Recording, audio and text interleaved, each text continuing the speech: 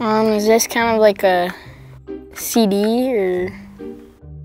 Some sort of like tape that I think you would put into like a DVD player or something. I know you click this in something, like you put it inside of something. I've never seen these things before.